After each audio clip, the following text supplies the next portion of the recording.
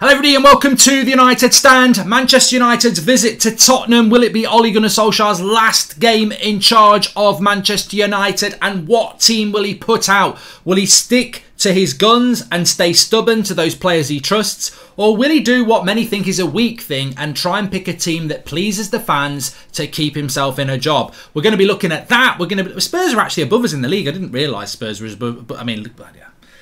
Spurs are above us in the league, says it all, but we have to win this game. We'll be looking at how Ollie might line up. We'll be looking at the ramifications. Will it be Solskjaer's last game? How United will set up. All of that to come. But first of all, let me just say a big thanks to Ultimate Fan who are sponsoring the show today. Um, so, uh, Ultimate Fan is a fancy football with a twist. Imagine fancy football combined with super cool pack openings. The game is super simple to play. All you have to do is be over 18 and download the app to totally free using the link in the description. Uh, follow the sign up system and then you'll be able to start opening packs and filling in your team for this coming weekend. There's Ultimate, also Ultimate Fan Plus for you to explore. This section features paid for gold and silver packs where you can receive extra cards, exclusive content, and much, much more. Each week there are prizes available for the teams that perform the best, and this week's prize is a massive 8 £8,500. So how you play this game is you download it for free, you've got to be over 18, you open your packs, you get your team, you, you acquire points from how they perform over the weekend, and then you check yourself against the leaderboard and see how you're doing. This week I packed Mo Salah and Wan-Bissaka, who are going straight into the team to help me strengthen up front and also in defence. Well, certainly Salah up front, hopefully Wan-Bissaka in defence.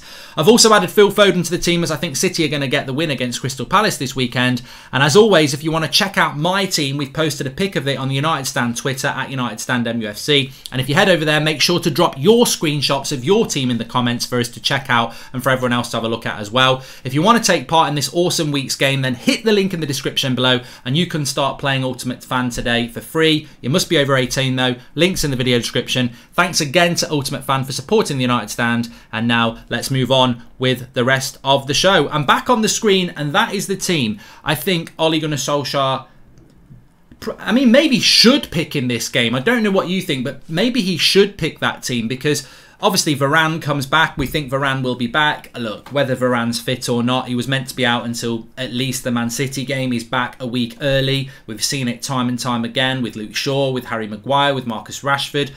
I mean, remember last week Bruno Fernandes and Fred apparently had knocks. Who knows whether they had a knock or not? They played crap. Uh, maybe that was because they had a knock. Who knows? Maybe they're being rushed back because they're in the Ollie Trust Club. I don't know. But Varane will come into this game, and will he be ready for this game? Um, well, you know, it's a risk. It's a risk. Maguire still doesn't look fit. Luke Shaw doesn't look right. We know he played against was it Villa or Everton when he hadn't trained all week. So you know, there's a weak area at the back there. Uh, obviously, McTominay and Fred, there is no Pogba. And then I would imagine he would bring Sancho in. I, I, I absolutely think he will start Sancho. I think regardless of Van der Beek, and we'll talk about that in a minute, I think he will start Sancho because it's his £74 million signing. He's embarrassed himself enough by not using him. And I think he has to use Sancho. Of course, Marcus Rashford will start. Bruno Fernandes, Cristiano Ronaldo. Now, that's the team I think he should pick against Spurs because that is basically the team that's got him into this problem in the first place. And people would say, well, surely he should change it for that reason. But how many times this season, whether it's Villa losing at home, whether it's Everton at home, whether it's scraping wins against Villarreal or Atalanta, whether it's Leicester, whether it's Liverpool, whether it's, you know, we weren't particularly good away to Southampton and teams like that as well. The fact is, Ollie has consistently, stubbornly ignored people like Jesse Lingard, Jadon Sancho, um, Donny van der Beek, Nemanja Matic, and others stubbornly ignored them. No matter how well they've done in training, he's ignored them to stick with the players that give him trust, desire, and honesty. Uh, the players that have underperformed. So, in a game where he's lucky to be in his job, why would he not go with the players that he trusts? You know? And why would you go? I mean, look, let, let, us just do it on screen, actually. There's, there's no point in not doing it. So let's just imagine that in, in this game, he actually goes, you know what? I'm going to play for the fans. Um, you know, Bruno's out for Lingard. Um, who else can we take out that's going to make the fans happy? I know. Let's uh, let's drop. Yeah, let's drop Scott McTominay and Fred, and let's play. Let's bring Nemanja Matic in as well. So, you know, this is something I'm going to show you in a minute, a back five scenario. But imagine he goes with that team. He drops Bruno, McTominay and Fred, and he plays Lingard, Matic and, and, and Van der Beek. Um, and maybe drops Luke Shaw as well. Um, you, you know, that to me, I think fans would go, "Oh, that's interesting, that's refreshing." But it's not Ollie. It's not his coaching team. That he's picking a team to please the fans. And There's no future in that. And if, if it's a bye bye, thank you to the fans, then fine. But if this is, imagine if we beat Spurs with that team. How long before he starts sneaking McTominay and Fred back in again and Bruno back in again? You know, it's like, and Bruno should be in the team. I'm just using him as an example, but I, I just it's going to be so interesting how he goes with the team on Saturday because his credibility is on the floor. Whether I say that or you say that, when the media say it, whether rival fans say it, his credibility is on the floor. He's been annihilated in his last two Premier League games. I think he's, you know, live by the sword, die by the sword. I, I, do actually think, as much as I would love to see Matic and Van der Beek, but I've, I've, been saying this and you've been saying this for a very long time, as much as I would love to see it, I think he's got to go with the team that he's always gone with because that is the team that he's always gone with. And that midfield three is the midfield three that he's always said is the team. We, look, we know it's his best 11. I, I, I, and I suppose this is where it comes down to, isn't it? It's he's massively undermined. The team that he's stuck by is next to useless. If they go and beat Spurs, I, I just, I mean, look, I, I'm wrapping myself up in a situation here, so God knows how Ollie feels. If he goes with the team that he normally picks and it wins, people will just say it's a stay of execution, and the next game he loses, everyone will be on his back again because of McTominay and Fred, etc., and you know his favourites. So if he wins against Spurs with the team that he always picks, no one's going to see any longevity in it. But if he changes it and brings Van der Beek and Lingard and Matic and whoever else in, everyone will go, well, he's only doing that to try and please the fans. He's not done that for the last year. So there's no future in that it's just a weird, weird situation, underlined by the fact that I hope we bloody win. But there is a third, third scenario. What if he goes to a back five, Mark? People are saying, what if he goes to a back five? Well, if he goes to a back five, I mean, a back five could be any combination. But look, he could put Telles at left back. But let's imagine, let's just let's create a back five because it's not really the individual; it's, it's the problems of the system.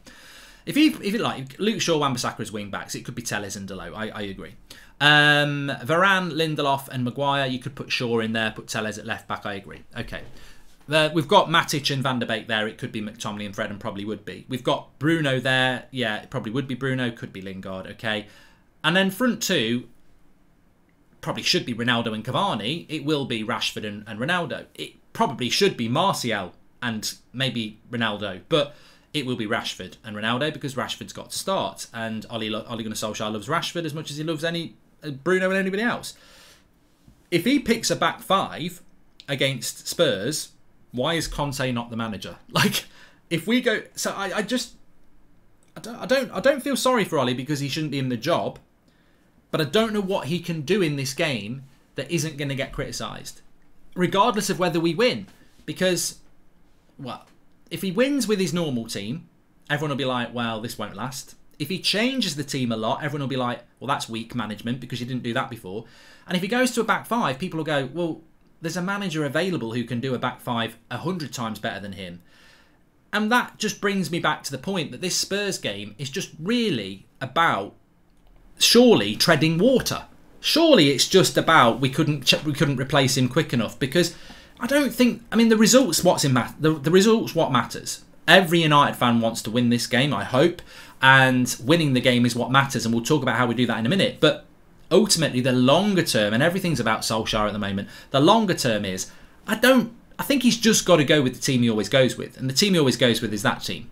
And maybe he does. I think he's got to pick Sancho over, Greenwood. I, I, like Greenwood, but he's going to go for Rashford, so it's got to be Sancho. So therefore, Greenwood's got to go to the bench. But he may he may as well go with that team because we know that's his best team. And you know, Ollie's always been a man about stubbornness loyalty, and trust. And as, although I've never agreed with his best team, at least if he's going out, he's going out his way. And I think he's got to pick that team because if he goes and changes it, it's like, uh, why? Why is it taken till now when you shouldn't even be here to make changes? And you've been here three years. I mean, look, I'll ask you the question. I can't give you the an- I can give you the answer, but I feel I shouldn't. If he goes for a back five and we win, do you want him to have another year to try out a back five? If he brings Donny and Matic in and Lingard and, and anybody else that you want to play in and we win, do you want him to be given another three months? It's like, I don't. I, I, I, I've checked out when it comes to Ollie. There is no, there's nothing he can do that will make me think, yeah, you deserve more time because I think he's had enough time. Therefore, if he is going to turn this around, he's got to do it with his team because that's what he's been doing for a year. So I would expect him to go with that team because that's Ollie. That's his coaches. That's Ollie. And look, one thing I would say before we talk about Spurs is that, um, and I tweeted it this morning, and I, I don't know how credible it is, but somebody messaged me and said, look, the feeling is that United don't want to sack Ollie because they believe that it could be another Sir Alex Ferguson situation from the late 80s where United um, you know, everybody, the media, fans think that he should be sacked, and then the club stick by him, and then they go on to greatness.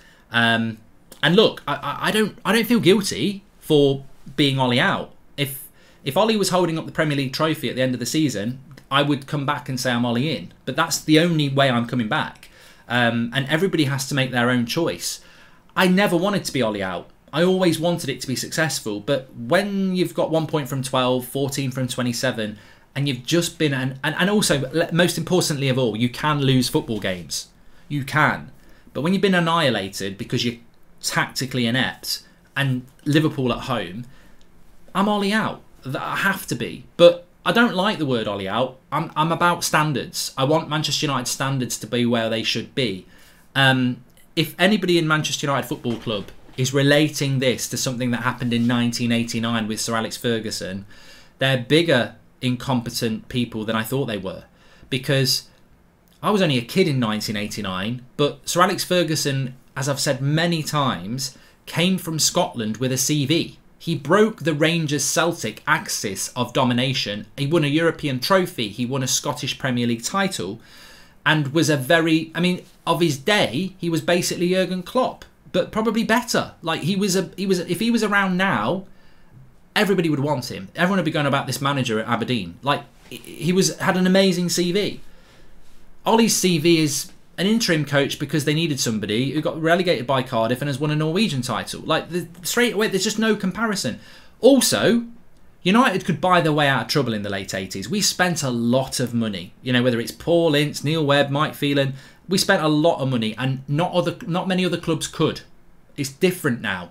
So we had a manager with a CV who had a plan, and he also had a style of play. We, we were quite entertaining. I remember the opening day of the season when we smashed Wol- uh, what Wolves, um, Arsenal. Like United were an, an entertaining team, and it took a lot of work. But Sir Alex Ferguson had a style of play. He had a plan. He had a CV, and he had United were in a situation where they basically could spend more money than most clubs. And that was why that persistence was worth it. Flip it 20, however many years later, uh, 30 years later, and um, 32 years later, and we've got a manager without a plan, without a good coaching setup, who hasn't got a CV and can't really buy himself out of trouble.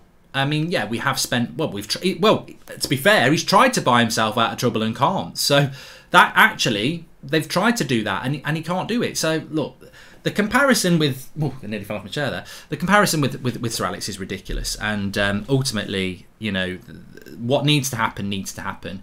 Will he get the sack if he loses to Spurs? Well, let's talk about the Spurs game. I mean.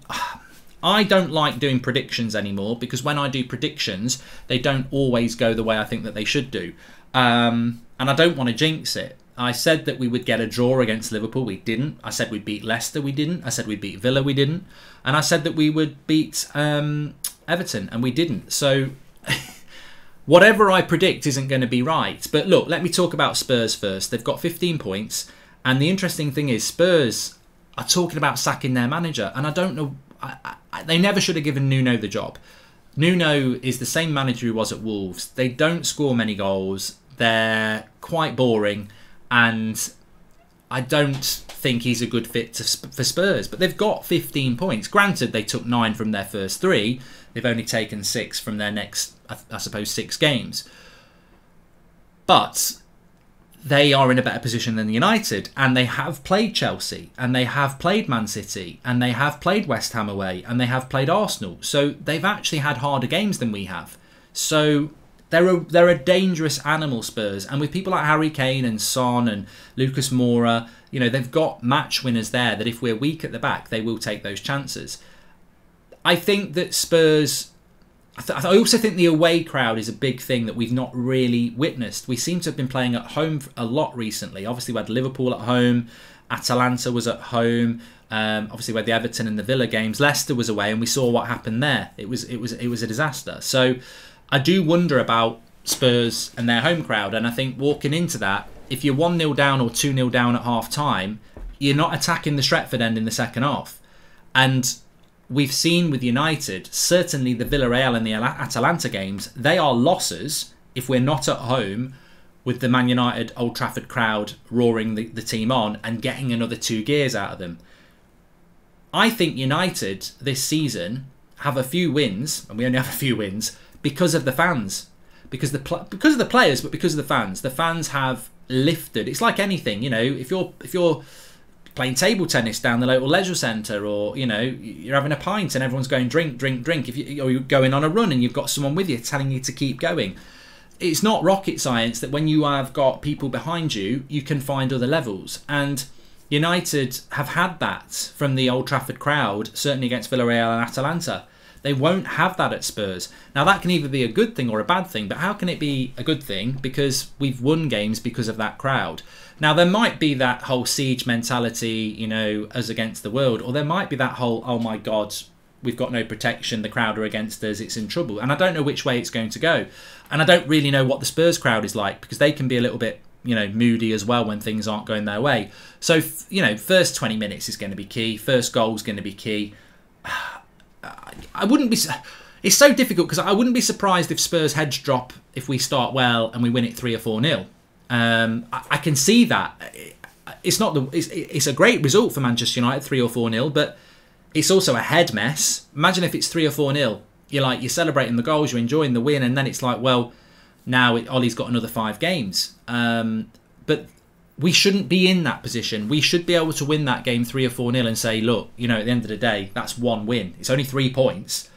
If we lose to Atalanta or City, you know, he shouldn't be here anyway, but he definitely should go. And, and, and, and that again comes down to the incompetence of the board. It's not the incompetence of the fans. The fans shouldn't be in a situation where if we win three or four nil, we can't enjoy it because we're thinking, well, we've got Ollie for another six months. The board shouldn't be swayed by that, but we know they get swayed by songs that are sung and everything like that. And I certainly won't be swayed by that, and I don't think many United fans will be as well. I think we could win that game 3 or 4 nil because at some point, those players are so good individually that collectively they, they will click. Something's going to click at some point. It has done. Will Ollie allow us to win 3 or 4 nil is something else, and I, that's why I don't think it will be 3 or 4 nil because unless it goes a very weird way and there's a red card or Spurs are absolutely atrocious, I think if we go 1 0 up, Ollie will go hit him on the break. Um, so maybe we can win that game 2 0. Maybe we can win it 3 0, but I can't see us winning it 4 or 5 0. Um, Spurs, if they score the first goal, I, I think this will be a tight game, is what I'm trying to say. I can see it being 1 0 either way. I could see it being a nil nil. I mean, a draw doesn't really suit anybody. We need to win. Uh, but it doesn't cause massive, massive headlines for either team. I can't predict this game, and I, I think I can't predict this game because emotionally, I'm, I don't, I'm all over the place when it comes to United. I want us to win. I don't blame any of the players, but I'm massively disillusioned by the coaching and the ownership, and that's probably why I can't pin anything on this because reality is if someone says we're going to lose i understand. If someone says we're going to win i understand. If someone says it's going to be a draw i understand. So it's a very very hard game to predict. I would say that united well i'm not going to sit on the fence. I'm going to say 1-1 uh, in this game. And i will be wrong so that means either spurs or united are going to win because I, I, I, can't predict anything at the moment. So I, I will say that it's probably going to be 1-1 but i do think that you know we we will quite rightly have um, our away support, which I think is the best away support in the league, if not in Europe. And, I, and they will be, sing- I'm sure they'll be singing Ollie's at the wheel, and I'm sure Spurs fans will be singing Ollie's at the wheel as well. But I would expect that because it's it's a Manchester United game, and our away support did that for Moyes. They did it for Van Gaal. They did it for Mourinho. So why would they change? And you know we need. You, you want that atmosphere. You, I, I want Manchester United to win. And as I said on the morning show, ultimately a lot of people think we'll lose to Man City. I don't necessarily think that is the case. It's a derby. Um, all right, we got smashed by Liverpool, which is effectively a derby, so I get that. If we're going to lose to City, and Ollie's going to lose his job in the international break if we lose again anyway, very important that we beat Spurs. I don't think beating Spurs is going to make people go give Ollie another chance. Um, I think beating Spurs and then losing to City will be probably the end of Ollie. So, I mean, even if you're thinking like, I want United to lose a game so that Ollie gets the sack, I don't think this is the game to lose. I think this is the game where we definitely 100% need to get three points. So, in that bubble, you know, you should be behind the team and hoping the Manchester United are going to win. Um, and I think that anybody who thinks that if we lose to Spurs, you'll get sacked on Saturday night, what's changed with United? If United can't sack him after Liverpool, why would they sack him after Spurs? And people might say, well, they've had more time to, to sort it out. They're not in official talks with any manager. If you sack Ollie on Saturday night, you've got to sack the coaching staff. If you sack the coaching staff, who's taking training on Monday morning? And if we're not talking to anybody, we've got a game against Atalanta midweek. I think Ollie's in charge for the next three games. I think it's ridiculous. I think it's ridiculous that if he lost to Spurs, he'll have taken one point from 15 and still be in a job. He could take one point from 18 and still be in a job. That's the that's the plan that the board have have laid out in front of the fans. Is that I think no matter what happens against Spurs, he'll be in charge against City. So therefore, you've got to want to beat Spurs because another loss is not going to get him the sack. So I think I think they're going to make their decision in the international break is what I think. And as I said before, I think they still think we can bounce back from this. And you know, I think it's an interesting one for Spurs because if they beat us, they got up to 18 points. That they've got a, how many? You know, they're four points clear of United, and we're meant to have top. I mean, look, I want to just go back for a moment. I want to go back to the start of the season, and what I said and what many people said is like we need to be in a title race in April. We're not in a title race in October.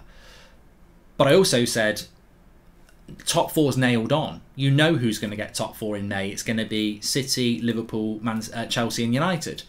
Well, if we lose against Spurs, we're four points off Spurs, and other teams might win around us. You know, Leicester, Leicester, if they win, move past us. If Arsenal win, they move past us. There's other teams around us as well. So it's absolutely imperative that I think that if we sacked Ollie this week and we'd brought a decent manager in, maybe we beat Spurs, maybe we don't lose to City, maybe we go on an unbeaten run to Christmas and we sort of get back into a potential sort of five points off the top race, you know? If we lose against Spurs and we lose against City, we're going to be maybe five, six points off top four, and then it becomes a top four race. And I think that's why United's delay is inexcusable because to change it this week, there was still a chance to get back into a technically, you know, five points off the top at Christmas, you're still in a title race. I think if this goes badly and we don't pick up wins against Spurs and City, we could be in a race for top four, and and that is how fine the margins are to coin an Ollie point. I think there was an opportunity this week to try and still stay close to the top. I think if we lose our next two league games, we're, we're going to whack ourselves into a race for top four. Um, and that and that's on the board. Of course, it is. Um, Ollie can't sack himself, so I think it's going to be a very interesting game. And I think Spurs are just such an unknown quantity, as are Manchester United. So if you predict any result, you you're not going to be far wrong. But I go back to what I said at the start, and I really want to see what people are going to say in the comments about this and in the chat because I don't know. And I can see some people are saying, well, you know, um, I want to see Donny start, and I've seen that, and Matic, and I get that, but. I don't. I do. I I've, I've wanted Donny and Matic to start as our midfield since the end of last season. But we've lost to Villa, we've lost to Leicester, we've lost to Liverpool, and I wanted them to play in those games, and he refused to do it. Remember, Donny van der Beek played well against West Ham in the Carabao Cup. He's not had a minute, he's not even come off the bench since then. And we've lost to Villa, to Leicester, drawn to Everton, lost to Liverpool. We've taken one point from 12 since Donny van der Beek played for Man United in that Carabao Cup game. And we've fluked a couple of Champions League results. We've been terrible since Donny van der Beek played that game against West Ham, and he's not been given a minute. So I'm meant to go when Donny starts against Spurs. Oh, well done, Ollie. You know, you've treated him like absolute crap. You've snubbed him. You've not even given him a minute off the bench. And now your job's in perilous danger and you're going to pick a player that you've treated like crap to try and win the fans over. Sorry, a massive part of me is like, I don't trust you. And I don't trust why you're doing that because you've made it very clear that you don't want to use him. And now your job's in jeopardy, you're using him. it's playing for the fans. And, and that's that's a weak manager who, when their job is in danger, they start picking a team to please the fans. I want a manager that is confident in what they're doing and you know isn't swayed by what fans want.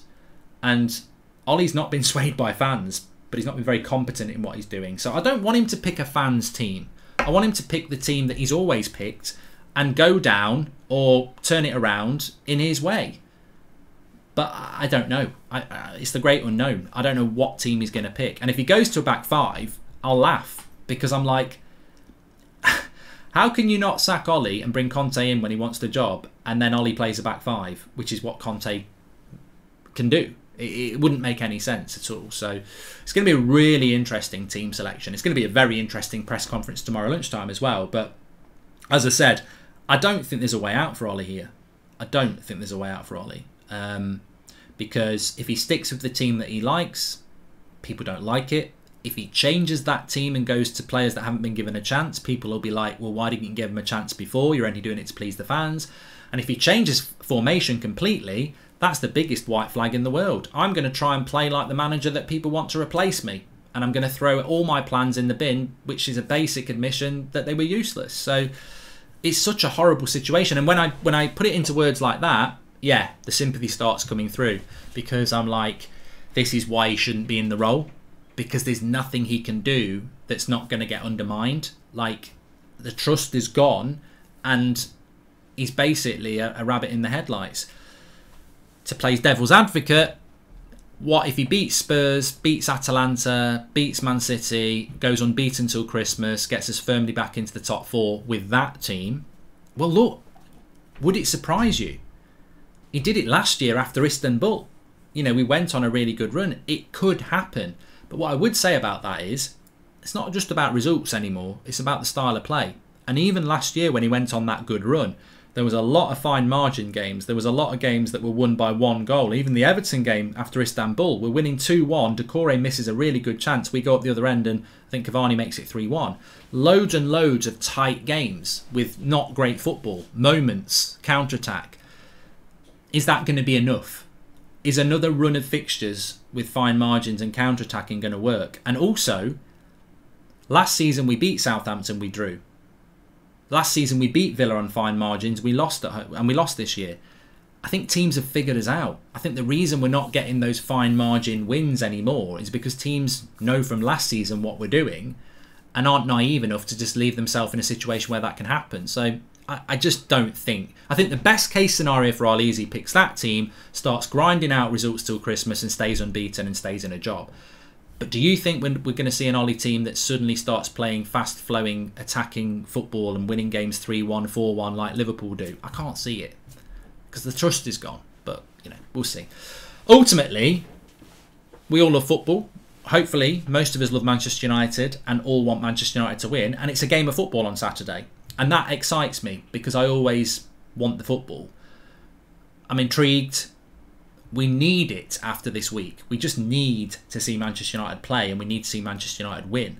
I don't think there is a result on Saturday that changes what happens on Sunday. I don't think we lose and he goes. I don't think we draw and he goes. And I don't think if he wins, it solves the problem because there's too many problems and there's too many trust issues to solve. Which is why I just want to win and get to this international break and see what happens because there's many points as we've got going into that international break, the better. Um, and that is when the change should be happening regardless. And if I was in charge, I would be like, I don't really care what happens in the next three games. I want you to win them all, and then I'm going to make the change. But I won't tell Ali that. But that I would be like, I'm making the change no matter what. But try and win all three games, definitely. Anyway, look, thanks everyone for watching. Loads for you to get into the comments about. What do you think about the team? What do you think you should do? How do you think the game will go? I'm going to go with a draw. Um, I think it's a very hard game to predict. I think Spurs can be as crap as they can be good. I think the away support uh, will be fantastic for us, but I think not having the Old Trafford crowd makes it harder for us to win. But then it depends on how the Spurs fans are. Um, loads to consider. Make sure you smash a like, subscribe, get involved in the chat, and I'll speak to you soon.